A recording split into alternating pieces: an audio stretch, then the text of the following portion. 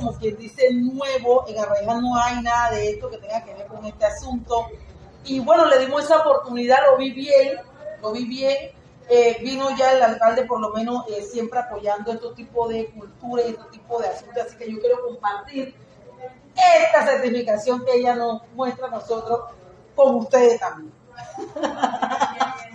Muchísimas gracias por recibir con buena vista y buena energía usted y todo el personal del municipio de Arraiján el proyecto de inclusión multicultural y pluriétnica aquí en Panamá Oeste de esta su humilde servidora Empress Yesuri Norris. Gracias, Yesuri, gracias. Estamos a la orden.